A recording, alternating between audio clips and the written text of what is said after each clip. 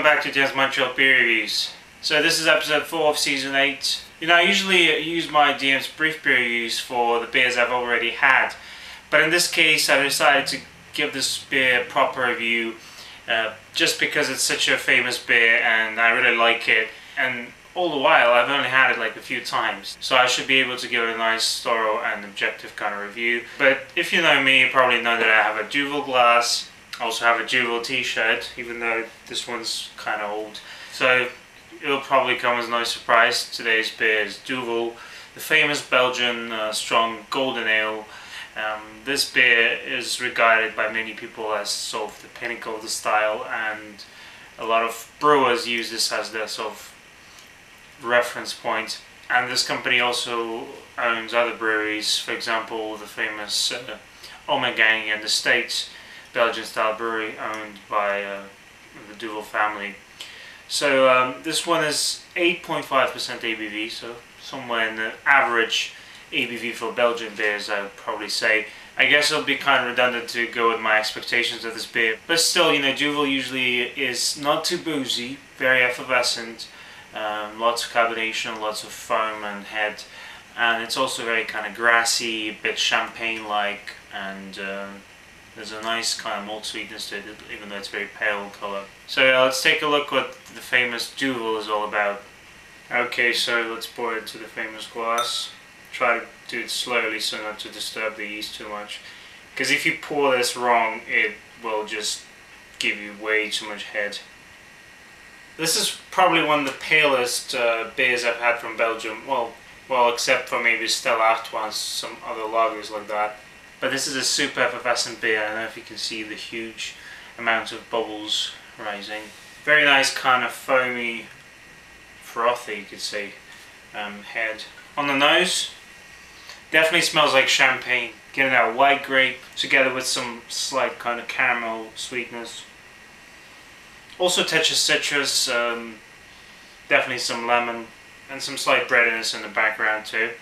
It's funny how uh, Duvel, I believe, means devil, but in the meantime, the label is all white, so it doesn't really look anywhere near being, you know, satanic or something related to um, the devil. Alright, cheers guys, let's go ahead. That's just a classic, classic beer. Once again, very similar to champagne. You feel the alcohol just a little bit, probably much less than you would when you drink your champagne. It leaves a slight dryness at the back, slight bitterness, Definitely has some nice grassy and herbal uh, hops there. Usually as you drink it, it becomes a little sweeter. Look at that amount of head there. Just a marvelous looking beer. I guess it's the glass plus the abundance of head that um, make it so much different from a pissy kind of macro lager that's super pale. I mean the color is almost virtually the same, but it just looks it looks elegant, you know talking about perception. I suppose for a beginner, this would seem like a huge beer, you know, 8.5%. But really, it isn't that heavy.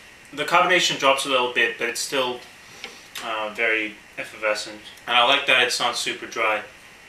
I'll be back in a few moments. This is very nice, um, just like I was expecting. Alright guys, it's time for me to get down to earth, I guess, uh, from drinking this beer. Really, really good one, really enjoyable. As you drink more of it, as it kind of warms up, you get a little bit more citrus, maybe not so much champagne. Uh, get a nice, subtle kind of hot bite, uh, definitely some lemon and grapefruit. A bit more bitterness, slight dryness to it. And still get that white grape and aftertaste though. What I really liked about this beer, and I've always appreciated that I guess, is that it's not super heavy on taste or alcohol, uh, but it definitely has some nice body to it.